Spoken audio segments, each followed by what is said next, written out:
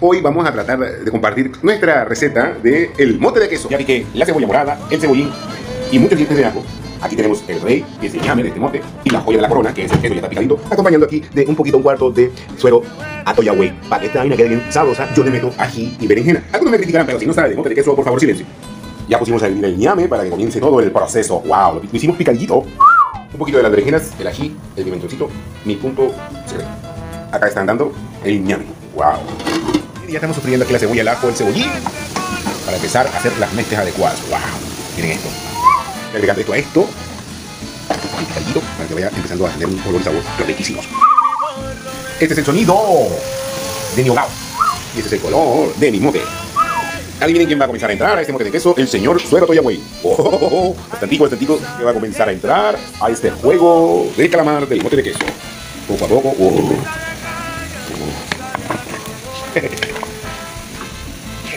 A entrar. Entra. Entra. y esto se está poniendo bien motudo. Bien motudo.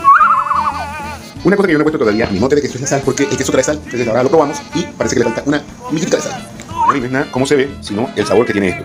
El que quiera puede agregarle especies o lo que desee para aromatizar. Y ya está casi lista en crema mote de queso. ¡Wow!